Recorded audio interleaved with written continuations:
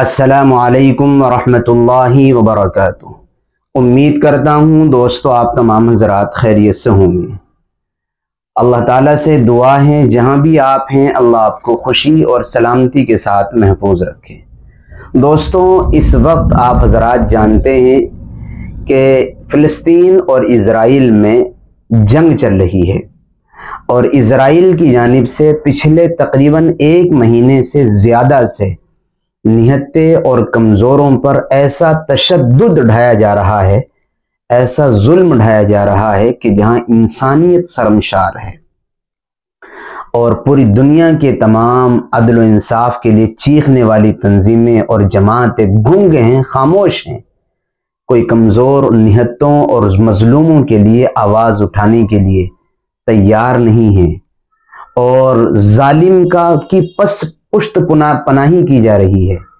जालिम का ताउन और मदद किया जा रहा है। इस वक्त कैसा वहाँ जुल्म हो रहा है, मैं आपको एक तस्वीर दिखाता हूँ। ये तस्वीर जो आप अपनी स्क्रीन पर देख रहे हैं, ये तस्वीर गज़ा के एक गजा के एक स्कूल के क्लास रूम की है।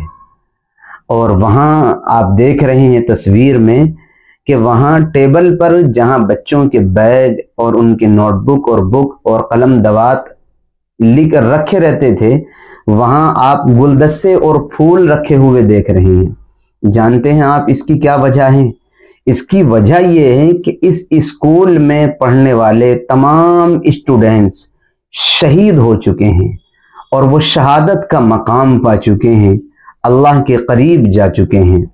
और जबकि उन बच्चों के टीचर और उस्ताद ने अपने स्टूडेंट्स और तलबा को याद करने के लिए उनके बैग और उनकी, उनके नोटबुक और बुक की जगह, किताबों की जगह गुलदस्ते रखे हैं। ये वहाँ जुल्म हो रहा है। आप ये देख लें, इन स्कूल में पढ़ने वाले वो बच्चे हैं, किसी की उम्र पाँच साल, किसी की सात साल होगी। ये खून को रुलाने वाला, खून जिगर को छलनी करने वाला ये मंजर है। हम तो इस वक्त यहाँ आराम से हैं, हमारी कानों पर तो जू नहीं रेंग रही है। इसलिए कि हम तो ये समझते हैं कि हमारे ऊपर जुल्म नहीं हो रहा है, हमारी ज़ात पर नहीं फ़र्क पड़ा, पड़ रहा है। जबकि हकीकत ये है कि मेरे भाई, पूरी उम्मत मुस्लिमा एक जान है, तमाम भाई हैं आपस में। एक मुस्लिम फ़र्द को अगर पूरी दुनिया में कहीं अजियत पहुँचे तो पूरे दुनिया में कहीं भी रहने वाले मुसलमान को उस अजियत का एहसास होना चाहिए। ये टीचर ने यहाँ गुलदस्ते रख के अपने तलबा को खराज तहसीन पेश की है और ये एहसास दिला रही है कि जिनको मैं पढ़ाया करती थी, वो आज नहीं रहे हैं। उनको याद करने के लिए, अपनी प्यार और मोहब्बत के इजहार करने के लिए ये इन्होंने एक तरीक़ा हमारे सामने पेश किया है और ये पैगाम दिया है कि इन स्कूलों में पढ़ने वाली मासूम जाने भी इस दुनिया से चली गई। और आज एक मुसलमान पूरी दुनिया में मगन है और अपनी ज़िंदगी जी रहा है। उसको अपना फ़िलिस्तीन तो बहुत दूर, अपने पड़ोस में रहने वाले मजलूम की जुल्म और उसकी कमज़ोरी और उसकी लाचारी और बेचारगी कुछ एहसास नहीं दिलाती। खुदा के लिए उम्मत बन करके जिए। एक दूसरे के गम को गम को गम समझें और परेशानी में एक दूसरे की शरीक हों। और हमें फ़लस्तीन की ताउन और उनकी मदद करनी चाहिए। और उनकी ताउन और मदद का तरीक़ा ये अल्लाह से हम गिड़ गिड़ा कर, सदक़ात करके, दो रकात नमाज़ पढ़ के उनकी उनके लिए दुआ करें। वो अपनी जान के लिए नहीं, या अपने माल के लिए नहीं, अपनी प्रॉपर्टी के लिए नहीं लड़ रहे हैं।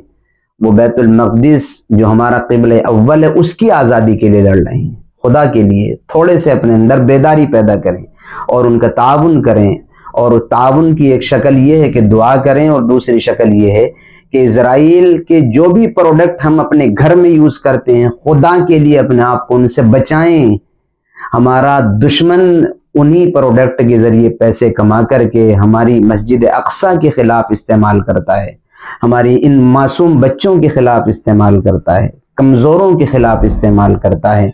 माओ की इज़्ज़त को लुटाने और उनको जलील करने में इस्तेमाल करता है और हम उसी के सामान बेच करके उसको ख़रीद करके उसको तरक्की दिलाते रहें। यकीनन इसका हमें अल्लाह के यहाँ जवाब देना होगा। खुदा के लिए, खुदा के लिए होश के नाखून लें। असलकम वरहमल